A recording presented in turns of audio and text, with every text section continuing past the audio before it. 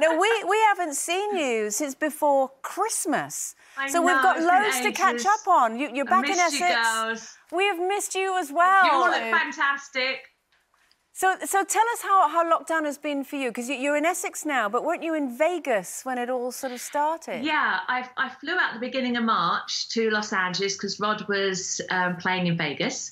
So I got to see one of his shows before his all of his tour had to be shut down, um, and then uh, managed to squeeze in a birthday party because at the time it was a maximum of 50 and there was only 20 of us celebrating, and that was at our home in Los Angeles. And then suddenly there was the word that no one could travel to America after Monday the 16th. So I took my two boys out of school a week early, which I'm glad I did. Flew them out to Florida, where we were planning on spending Easter anyway. So instead of a 10 day holiday, it ended up being a month in lockdown in Florida. Um, which was actually quite wonderful. We were also there with two of Rod's older children.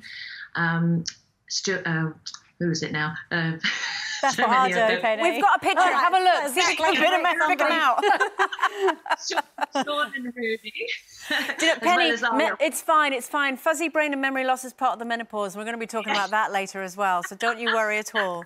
but obviously, you know, you, you, we flew to, to London when the advice was to come back, Yeah. and then we spent um, well spent the last few months here in in the country with another two of the kids, Renee and Liam. So we got some quality family time, which was lovely. And what about the whole homeschooling thing? How's that been?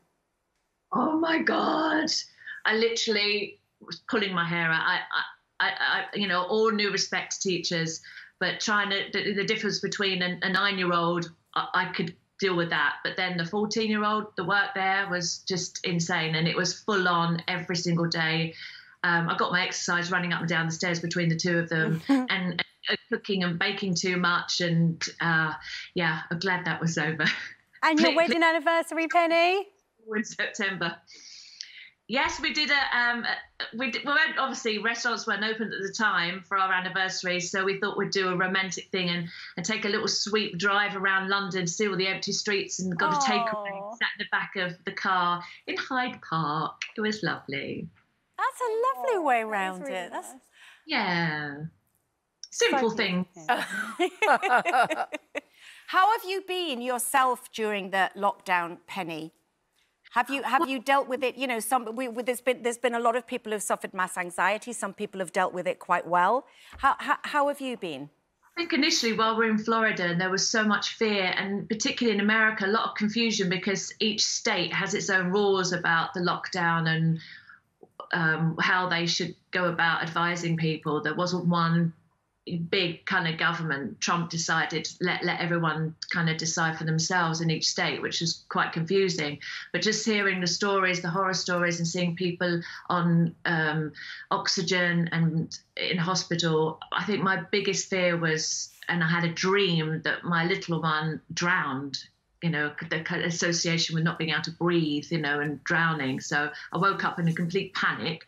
And then on top of that, I was getting these extremely uh, severe hot sweats. And i thought I've, I've got a temperature that's it. I, i'm going to pass it on to all the family. And and then then i was getting freezing cold then hot and then cold on top of the covers under the covers. And i was like this is the menopause.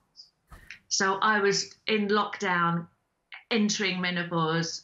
My last period was march. And so i guess i'm officially that age now. Oh. but it, it was very confusing Oh, well, do you know, I think so many women will not only understand with with what you're talking about, the menopause, and we're going to go into that in a, in a little bit more Yeah. detail in the show, but just even the, you know, the stress dreams and worrying about your children at, at the beginning of it all, I think we all felt Everybody's exactly the same, dreams, the same way, yeah.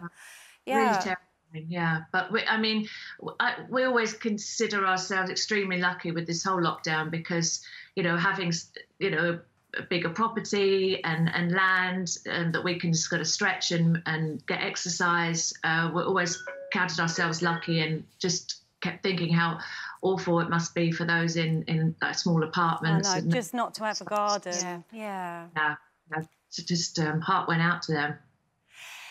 Now, um, we want to very quickly talk to you about PC Penny. Can you, in a nutshell, tell us how, far you are with your with your training? Uh, did it have to come to a halt, obviously, with coronavirus?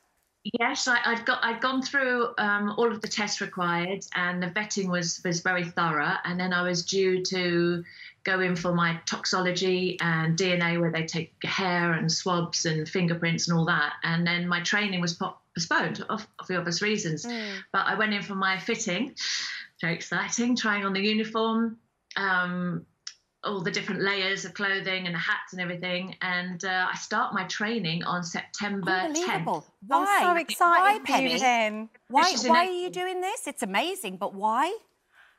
Because I, I want to be a part of helping the community um, like really on the ground level. I mean, we do a lot of charity work, but I always feel like we're on the outside. And even though you, you get to visit children in hospital and and uh, other aspects of the charities that you're involved in, I never feel that it's enough, mm-hmm. you know, to conquer such a, a big scale of, of trauma or, or whatever.